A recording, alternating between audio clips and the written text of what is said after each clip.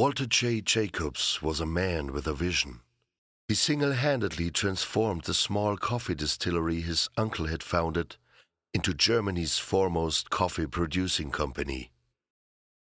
Walther Jacobs had a vision in his private life as well.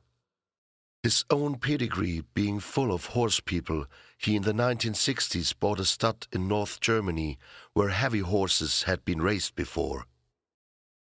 Experts dismissed his chances of breeding fast thoroughbred horses there, as the soil was thought to be too sandy and poor. Mr. Jacobs would prove the opposite. A basis for his overwhelming success would be a shrewd acquisition of some broodmares at the sales in Newmarket. In 1988, one of his broodmares gave birth to a little chestnut colt that was to be named Lomitas. His looks and conformation immediately raised some hopes. After growing to become a two year old, he was duly put into training with young and ambitious Bremen bound trainer Andreas Wöhler. Andreas was handed a huge chance here. Due to the untimely death of his father, he was forced to take over a big training establishment much earlier than he would have wanted. Andreas was only in his second year as a public trainer when Lomitas arrived in his yard in the end of 1989. At the age of two, Lomitas was entered up for a juvenile event in Hanover. It was then that the first hint of a serious problem would start to unearth. Lomitas would not enter the horse box, as simple as that. So he did not run. Lomitas was entered up again for a little maiden race. He was trained the normal way to enter his transport, was driven to the racetrack and won. Lomitas was quick to establish himself as a leading two-year-old in Germany in 1990. He had two starts and won them both, writing his name firmly on the list of winter favorites for the German Derby of 1991. wird angegriffen von Lumitas. Iris Q an der Innenseite in der Bahnmitte Lumitas und Lumitas geht nach vorne. Lumitas führt gleich mit zwei Längen vor Iris Q. Lumitas klar vorne jetzt schon vor Iris Q. Dahinter kommt Ferry Dancer und Ignis Basualdo. Aber Lumitas ist klar vorne. Lumitas löst sich hier auf klaren Vorsprung. Lumitas ganz klar vorne. Lumitas klar vorne gewinnt den Arak Juniorenpreis überlegen vor Ferry Dancer dann An ambitious campaign was planned for him with the German Derby being the main target for Lomitas' three-year-old campaign. Having practiced to enter the starting stalls at home, nobody did see any problems arising as Lomitas was driven to Krefeld for his first race of the season. In the Busch Memorial, it took the handlers 20 minutes to finally persuade Lomitas to enter the stalls. Erfolgt. An der Innenseite hat Aufsteiger das Kommando übernommen. Aufsteiger. Das Feld ist jetzt Ausgangs des Schlussbogens und erreicht in diesem Moment den Einlauf. Nur etwas mehr als 400 Meter sind zurückzulegen. Das Feld ist in breiter Formation. An der Innenseite Aufsteiger. In der Bahnmitte kommt jetzt Lomitas. Und Lomitas geht nach vorne. Lomitas ist vorne. Ganz außen wird jetzt Bordiger Blues eingesetzt. Aber Lomitas ist vorne. Lomitas führt. Lomitas vor innen De Niro. Lomitas vor De Niro und Quaglino. Lomitas ist vorne. Lomitas. Lomitas führt mit zwei Längen, mit drei Längen. Lomitas. Lomitas löst sich hier. Lomitas gewinnt leicht vor Quaglino. Dann De Niro vor Chrom und Classic glory loomed for the first time as the German 2000 Guineas was firmly on the agenda now, and Lomitas was driven to Cologne with high hopes. What followed was nothing short of a disaster. This time, 20 minutes were not enough to press Lomitas into the stalls. The horse had made up his mind. He would not enter the stalls. With the major Derby trials and the Derby itself only weeks away, it became clear that this problem would not just vanish. The horse, for whatever reason, did not want to cooperate anymore, and man would have to go down a different path in search for a solution. At this point, a certain Monty Roberts enters the story. He had just given a highly publicized show to the Queen of England who in turn was deeply impressed by Monty's different approach to communicate with even the most unruly horses. Nobody had ever heard of him in Germany, and whispering to horses was certainly different to what horsemen had been doing to horses so far. But Monty got results and had a very good reputation. There was nothing to lose. It would be back to the drawing board for horse and handler. And Lomitas and his English work rider Simon Stokes had to go back to A and learn to communicate. The Monty way. Simon can recall his first lesson very clearly. It was a dark and rainy day, typical of a German summer, when Lomitas did get his first join-up lesson. Monty took him to a covered hall and closed the doors. Man and horse stayed in we for four hours. Not knowing who he, who he is, what he does. And uh, he came and had two weeks to get Lomitas right before the derby. Uh, so we were under pressure. And they bonded, and Monty did a join up, which I'd never seen before in my life, and uh, communicated, and the horse loved. As the derby drew closer, Lomitas was sent to the last possible trial, a listed race on his local track Bremen. All watched in awe how a calm and reassuring Monty Roberts, being flown in by the Walther Jacobs especially for the race, took Lomitas' head collar and slowly walked towards the starting stalls. 10,000 racegoers caught the moment and cheered up a horse who had just, purely and simply, entered the starting stall. 200 Meter vor der Linie, Lomitas an der Spitze. Lomitas und dahinter ist Mondo mit Le Jardin. Lomitas ist vorne. Mondo kämpft mit Le Jardin. Lomitas vorne und äh, Mondo kommt nicht ganz heran. Auf den letzten Meter wird er noch schnell, aber Lomitas bleibt vorne, gewinnt mit knapp einer Länge vor Mondo. Le Jardin, dahinter großer Abstand bis zu Coralito Northern Star. Simon, after getting lessons and joining up as well, was appointed as Lomitas guardian and continued the special training. It was all new to him, like going back to school, and a totally new approach of dealing with horses for him as well. The Derby.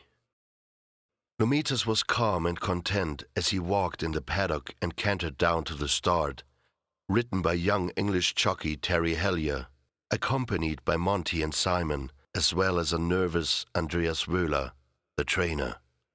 Lomitas behaved impeccably, as if there never was a problem, but a small but significant hiccup occurred yet again. This time when Lomitas wanted to jump out of the box. Barely visible for the normal onlookers, Lomitas' door opened slightly prior to all the other boxes. And to save the day, Andreas Wöhler, in his nervousness, jumped forward to close it again, in a vain attempt to help. The derby was underway, though. The race developed nicely for Lomitas, and the jockey was able to settle him. He started to make a move on the outside once they rounded the final bend.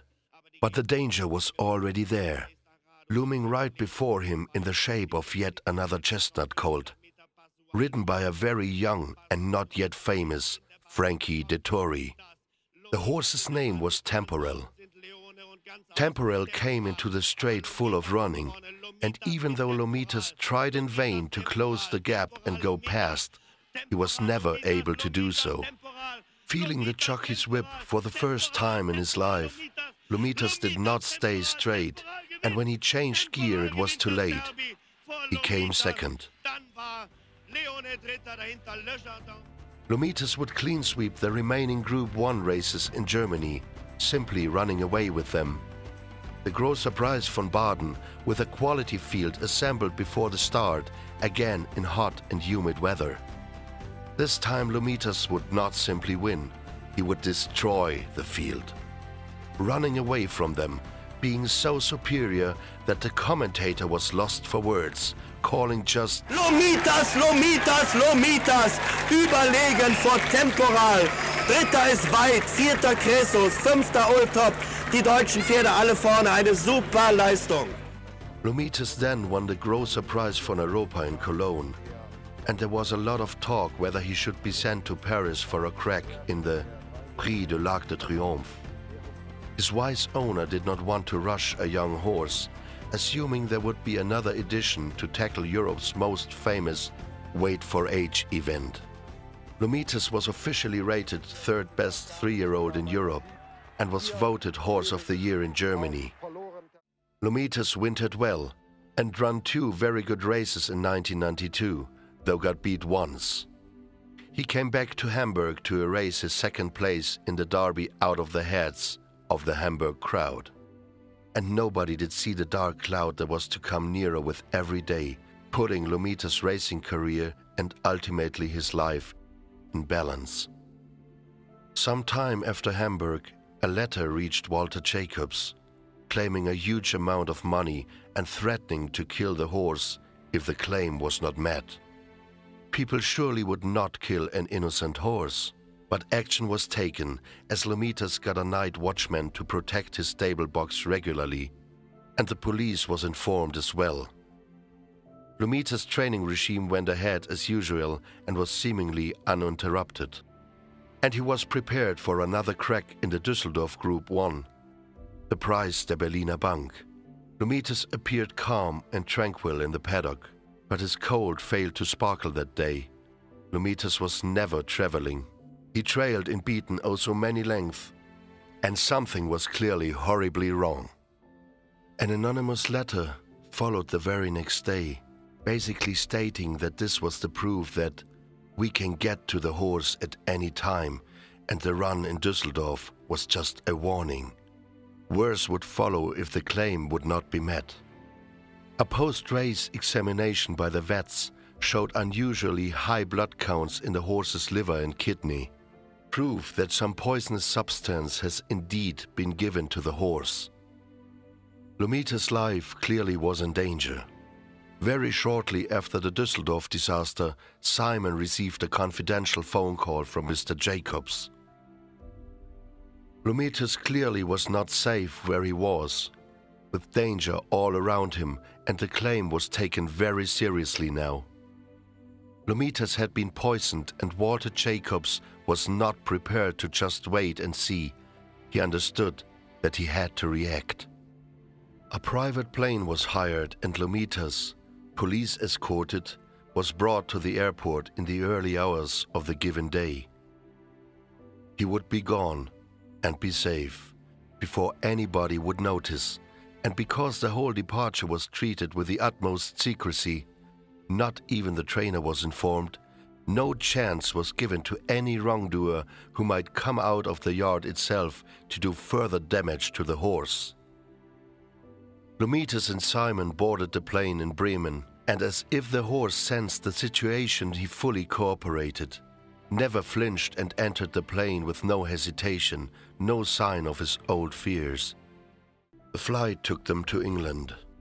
In the hectic days that preceded this flight and the escape, out of the country contact was made, through Monty Roberts to Lester Piggott's yard. And it was to his premises that Lomitas and Simon went for rescue. Lomitas would be given a new name, Pirelli, so nobody was to know his real identity.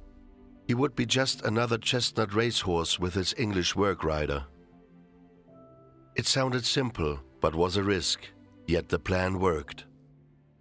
Simon Stokes' diary notes an extra special workout in the middle of September 92, the day Lomitas gave indication that he started to pull all the trouble behind him. He worked like a proper racehorse that day.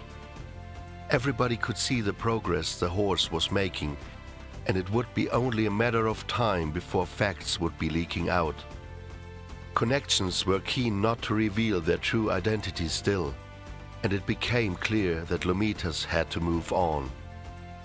He was bred to be a racehorse, and his development and improvement showed that after all the threats and troubles, Lomitas still wanted to be one.